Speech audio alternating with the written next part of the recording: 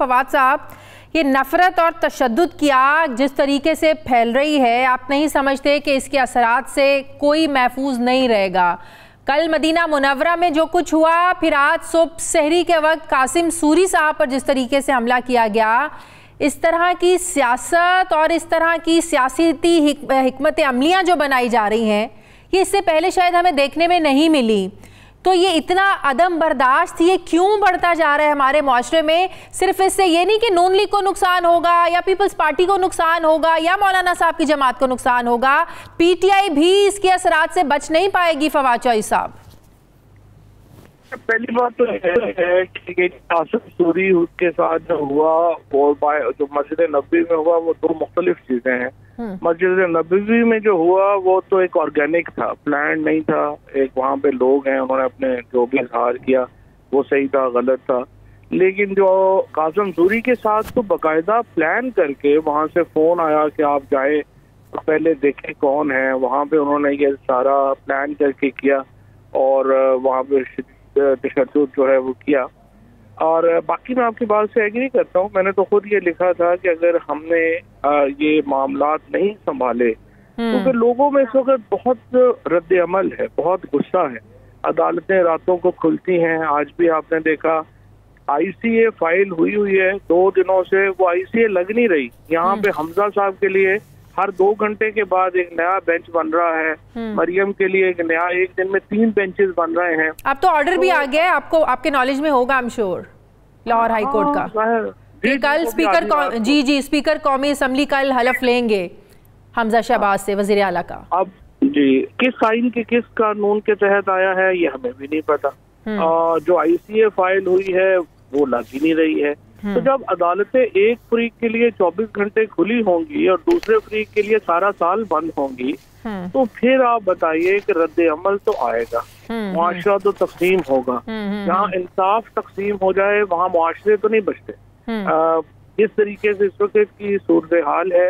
आप election commission का आज मज़ा का खेज फैसला देखिए कि जिन्होंने पकड़वाया उनके खिलाफ कार्रवाई की जाए और जो बेनिफिशियल है उसको वो कह रहे हैं कि जो उसके ऊपर तो कुछ साबित ही नहीं होता हम्म। इस किस्म की जो मजहका खेज फैसले हैं इस तरह के जो रातों को खोल के अदालतें फैसले हैं उससे एक बहुत रिजेंटमेंट है लोगों में और वो रिजेंटमेंट का इजहार हर जगह हो रहा लेकिन है मैं यही तो बात कर रही हूँ सियासी इख्तलाफात फवाद चौधरी साहब अपनी जगह लेकिन मदीना मुनवरा जैसी तो पाक जगह पर वहाँ के तकदस को पामाल करना और फिर ये कहना कि मक्का में भी इन लोगों के साथ यही होगा एटलीस्ट इसको कंडेम करना चाहिए और ये मैसेज देना चाहिए कि सियासी इख्तलाफात इन जगहों से बाहर रखें आप लोग ये देखिए ये सियासी इख्तलाफ तो है ही नहीं ना ये तो एक कब्जा है जो एक पाकिस्तान के ऊपर चोर दरवाजे से हुआ है हम्म। जिसकी वजह से लोगों में गुस्सा है हम्म। अब ये इनके साथ यहाँ पे तो हुआ है लंदन में इनके साथ क्या हो रहा है आप वो हम्म। चलाए ना जो हुसैन नवाज़ जब निकले हैं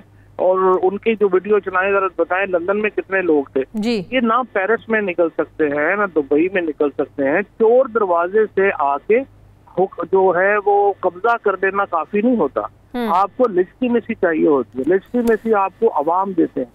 और अवामी लेजिटिमेसी इनके पास है चोर हम्म। दरवाजे से ये साजिश के ज़रिए काबज हो गए हैं। हम्म। लिहाजा ये इस वक्त जो मुल्क है और ये पूरा जो हमारा सोसाइटी है वो बुरी तरह तकसीम में है। और जिस तरह से इमरान खान ने कहा था इस गलती को सुधारना चाहिए फौरी इलेक्शन करवाने चाहिए और अगर आप इलेक्शन नहीं करवाएँगे हम्म। ये बहुत तकसीम बढ़ेगी और कोई ऐसा वाक्य हो जाएगा कि हम फुल फ्लैज खाना जंगी में जो है वो चले सब हाथ मलते रह जाएँगे। साजिश की आप बात कर रहे हैं आपके एक बयान में ने ज़रा कन्फ्यूज़न बढ़ा दी थी। एक तरफ़ कहते हैं आप लोग कि अमरीकी साजिश हुई है दूसरी तरफ़ आप कहते हैं कि हाँ अगर हमारे इस्टेब्लिशमेंट से ताल्लुका ठीक ठीक होते ना तो हम इकतदार में होते। ज़ाहिर फिर यही समझ में आती है कि सब कुछ हुआ इसलिए क्योंकि आप लोगों के साथ इस्टेब्लिशमेंट के ताल्लुक ठीक नहीं थे। बकौल आपने बड़ी कोशिश की इन ताल्लुक को बेहतर बनाने की, लेकिन मामला नहीं बने। तो वजह क्या है बेसिकली यहाँ। वो शेख रशीद साहब एक बात कहते होते हैं कि मेरे बयान बेवकूफ़ लोगों के लिए नहीं होते और इसलिए मेरे बयान भी बेवकूफ़ लोगों के लिए नहीं होते।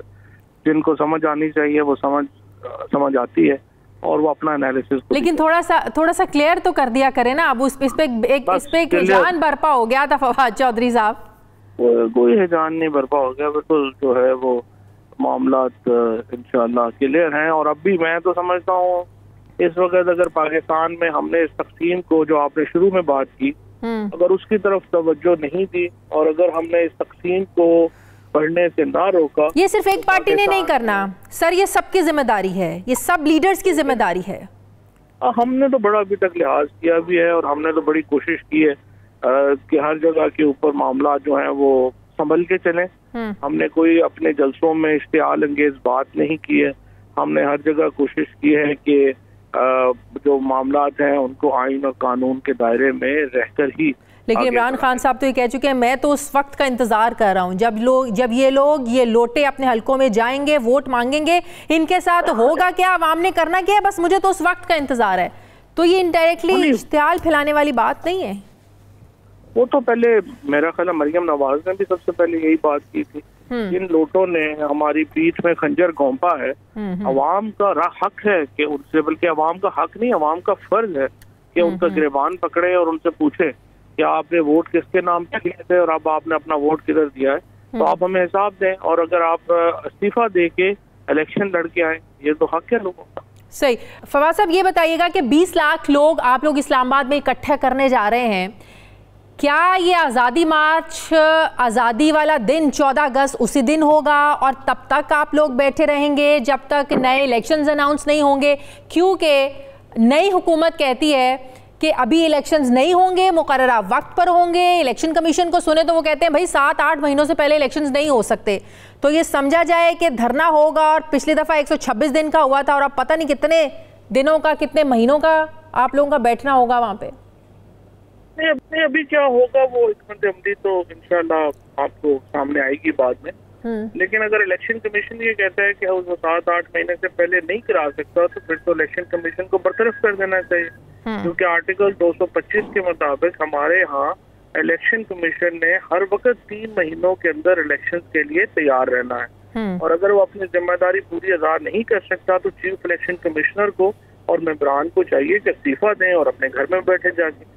ये तो कोई तरीका नहीं है कि वो ये कह दें कि हम तो जिस मकसद के लिए हम तो पैसे खर्च किए जा रहे हैं हम्म। जिस मकसद के लिए हम बने हैं हम वही पूरा नहीं कर सकते। तो ये स्टेटमेंट तो इस कॉल फॉर रेफरेंस सही। फवाद चौधरी साहब आप लोग तो इस बात पर बहुत ज़्यादा खुश भी थे। आप लोगों ने कोशिश भी की और इसको कामयाब भी किया कि 2023 के होने वाले इलेक्शन ईवीएम के ज़रिए होंगे। ओवरसीज़ पाकिस्तानी को उनका वोट राइट मिलेगा। लेकिन इस हुकूमत की कोशिश ये है कि इंतखाबी असलाहत हों ईवीएम को ये लोग ख़त्म करें। जिस तरह नॉर्मल पहले इलेक्शंस होते थे उसी तरीके से इलेक्शंस हों। तो ही बात बन सकती है। वो कहते हैं कि हमारा आने का मकसद ही है कि हम इंतखाबी असलाहत करें। तो आप लोगों की तो सारी कोशिशों पर सारी मेहनत पर सारा पानी फिर जाएगा। ये कोई हमारे लिए कोई जाती इशू तो नहीं है। ये हाँ। तो एक इशू है। जैसे हम समझते हैं कि आप साफ़ शफाफ इंतखाबी निज़ाम की तरफ़ बढ़ सकते हैं। इसी तरह ओवरसीज पाकिस्तानी जो नौ मिलियन है बाहर इकतीस अरब डॉलर उन्होंने भेजे हैं इस साल तो उनको फंडामेंटल राइट है कि वो पाकिस्तान के इलेक्टोरल सिस्टम के अंदर उनकी स्टे होनी चाहिए। हम्म। और अगर वो नहीं होती है तो हम अपना नुकसान कर रहे हैं। और इसीलिए ओवरसीज पाकिस्तानी की जो खिलाफ जो इनकी पॉलिसीज़ हैं बहुत बड़ी वजह है कि जहाँ पे बाहर दुनिया में निकल ही नहीं पाते लोग इनको जो है वो जूतों से इनका इस्तेमाल करते हैं। उसकी वजह बुनियादी तौर के ऊपर वो एंटी ओवरसीज पाकिस्तानी पॉलिसीज़ हैं। इस कोलिशन की ये जो प्राइम मिनिस्टर और उनकी कैबिनेट है। सही बहुत बहुत शुक्रिया। पाकिस्तान तहरीक इंसाफ के रहनुमा फवाद चौधरी साहब मेरे साथ थे।